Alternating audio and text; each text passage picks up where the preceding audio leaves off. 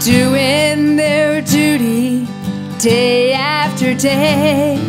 For decades, it's always been just the same.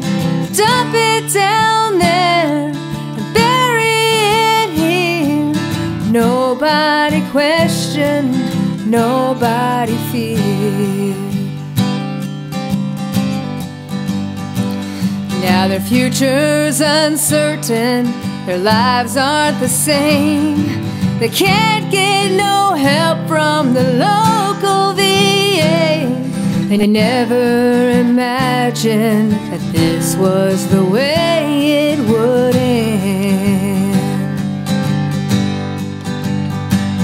Now their whole world's a 12 by 12 room with four whitewashed walls sealing their doom. Through a hospital window lie their shattered dreams and an uncertain future it seems.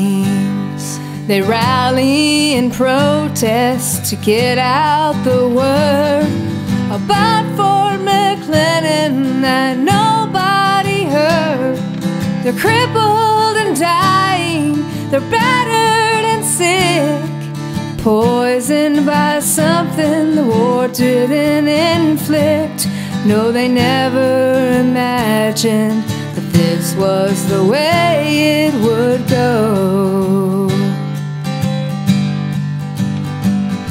Now their whole world's a 12 by 12 room with four whitewashed walls sealing their doom.